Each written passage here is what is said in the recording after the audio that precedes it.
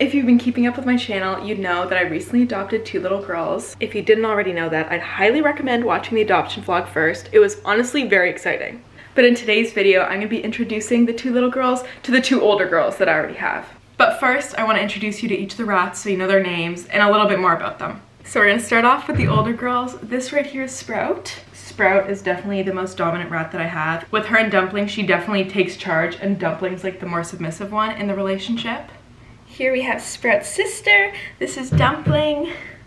She was so, so shy when I first got her. I really had to put in a lot of time, like individually with her. Sprout was always much more willing to like come to me and be on me while they were free roaming, but Dumpling would always sort of hide, but she's definitely gotten so much better.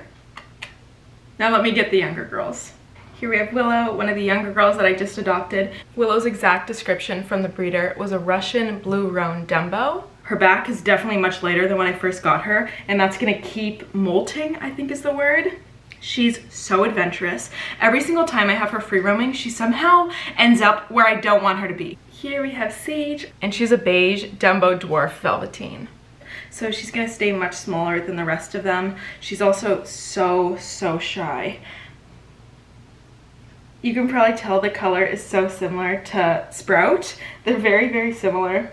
Just so you know, I'm showing you all the rats so you can meet them, but I'm actually filming this after I introduce the rats. When I first got the little girls, I kept them in a total different spot in my house, far away from the big girls so they could properly quarantine for a little over two weeks. The first step of the introductions is gonna be putting the big girls in the same room as the little girls. Not side by side, but just across the room so that they can start to see each other and have this sense roaming around. I've cleared out a space right here on top of my dresser. I just moved all my plants over. Okay, I've moved them in place. So it's been exactly one week since I moved the big girl's cage into my bedroom. The little girl's cage is right here and I'm gonna move the big girl's cage right next to it. So they'll be much closer. Obviously they still won't be able to reach each other, which I wouldn't want to happen, but I wanna get them more comfortable with each other before I introduce them. Hi little cutie. That's ratty number one and number two. This one's so, so teeny. She's also very shy like the shyest out of all the rats. You can see, you know, she ran away.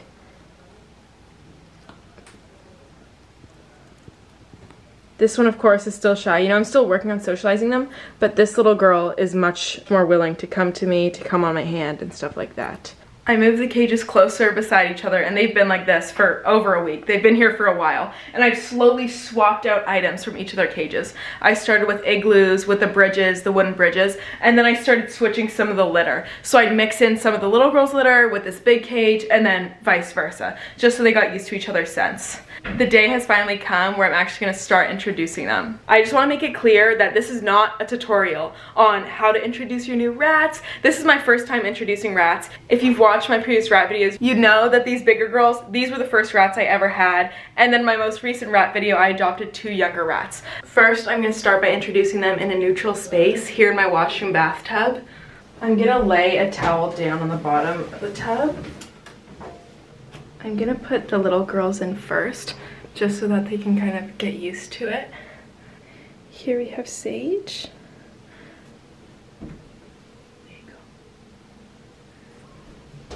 Hey little one, let's stay on top of the blanket. Come here. Come here. And then I'm also gonna sprinkle in some treats. Oh my gosh, she almost jumped up. Holy cow, I didn't even anticipate that. All the videos I watched, none of the rats ever did that. Oh my gosh. Honey, honey, please don't.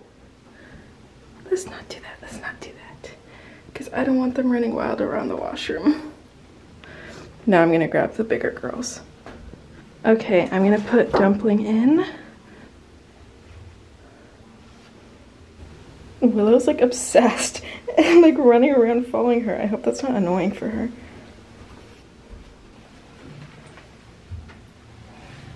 Willow's like up in their business. Like she's not afraid. I feel like Sage is doing really good too. She's yeah. so scared. She's usually very timid. She's like a third of the size of Sprout. Sage is just chilling in the corner munching away.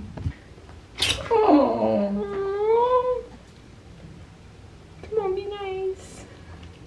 The rats have been in the tub here for about 30 minutes now, and it's been going well. Nothing too bad's happened, so now I'm gonna put in a small carrier for them to smell and go into if they'd like.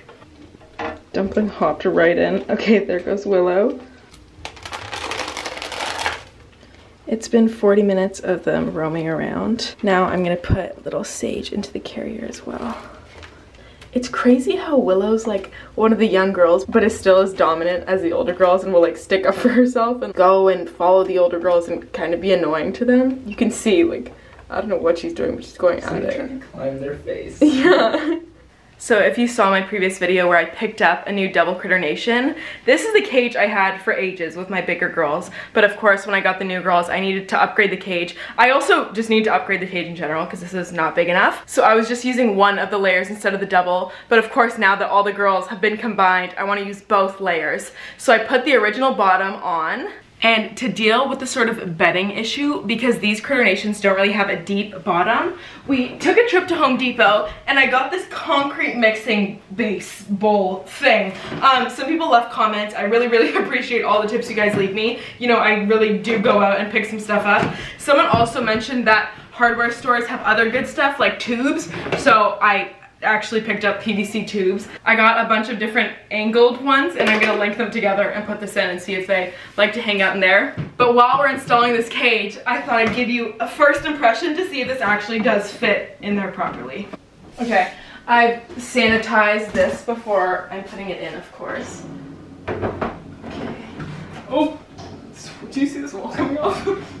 um, Does it fit? it's tight. Maybe if I go straight down, straight down. Because it's almost there. Okay. Okay, I think that's down. Will these close? Oh, they do, right? It's like it Yeah, pushes in on it. This will work. Okay, okay. We just need to put the top on. So we've got a fully empty, clean cage. I'm gonna add in the bedding, then I'll add in the rat's carrier so that they can hop out whenever they want. Of course, while they're in the cage, we wanna make sure they have water. So I'm gonna add in two of the bottles. Okay, they're all very curious as to what's happening.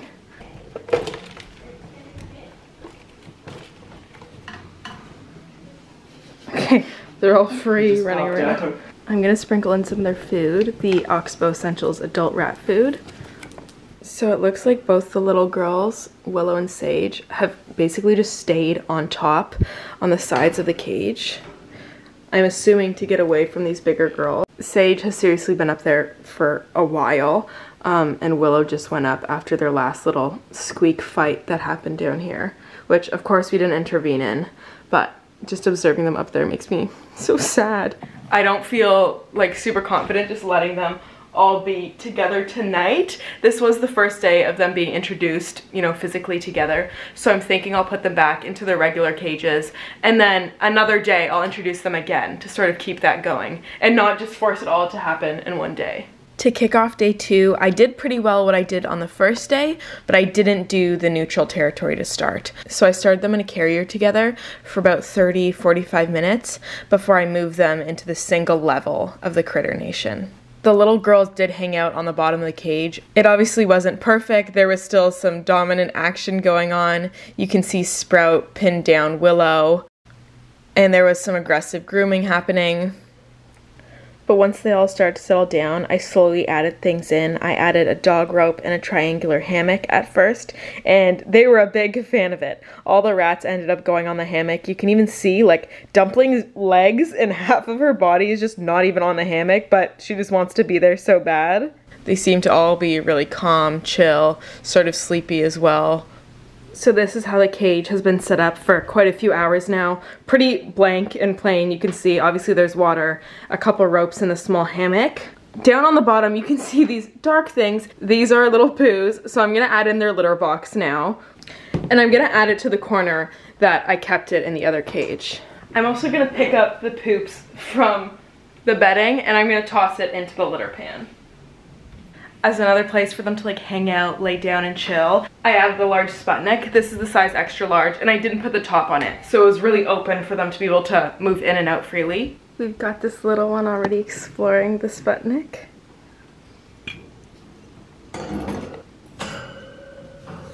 So this is the current cage with all the added stuff. I'm gonna keep them in just a single critter nation for a couple days, perhaps close to a week. And then if they're still doing all right, you know, still moving positively, then I'll add the second cage on top and give them that extra space. So I've literally just hopped out of bed, but the rats have all been in the cage for their first night together, so I wanted to show you exactly where they were all sleeping and hanging out. Up here in the Sputnik, we have Willow and Dumpling. They were having a little snuggle session. Sprout was just roaming about. And then I'm looking for Sage. I'm assuming she's under there. Yeah, all the rats have been together for about three days now and I'm slowly adding some more stuff in. I just put in a double layer hammock and while I was clipping it in, little Sage and Willow both hopped in. Let me show you what the situation is now. We've got Sprout on top, Willow inside, and Sage inside. Originally when I put this hammock into the big girl's cage, they didn't use it for like weeks and weeks. They never touched it. They would always just sleep in their large Sputnik. We've got some demolition happening. I put in a wine bottle cork that I obviously cleaned first. When I put it in, it looked like this. It's now looking like this. All the rats have been combined in this one layer of the Critter Nation for three days now. We're gonna clean out this cage that the little girls were in, and then we're gonna put it on top so they have both levels. I'm gonna add in some lava ledges, Sputniks, which are of course their favorite, but I'm keeping everything pretty open. I'm not putting any enclosed igloos that only have one exit. I've slowly been adding more and more things in. I currently don't have any platforms in here to sort of ensure more active layout, but honestly, I just find that whenever there's platforms, the rats always pee on them and it just kind of causes a mess. Sprout is obviously the most dominant one that I have here. So she's typically the one who will start little squeak fights with the little ones. Willow's, again, just so adventurous and always wants to get out of the cage whenever possible. Even when I'll have the door open like this, she'll climb on the top and just like escape. Um, as you'll see right now. Okay, I guess everyone will just be free. Have fun. I wanted to apologize to you guys who have been, you know, avid viewers and I guess followers of this channel. I'm very sorry that I took a little bit of a break there. I know my videos have come out more sparsely as of recently. It's honestly just because I've been working like full time. I've been doing two jobs and that's taken a lot of my time and energy. So I just want to apologize for that. Definitely feel free to follow my Instagram. I post stories on there and you kind of get like more live updates on me and also the rats. I was posting about their interactions and putting them in the bathtub together and seeing how all that went. So for more frequent updates on the rats, definitely follow me there at Alexandra period Stott. And please comment down below any suggestions you have for video requests. I reply to you guys in the comments and love having chit chats I'll see you in my next video. Thank you so much for watching.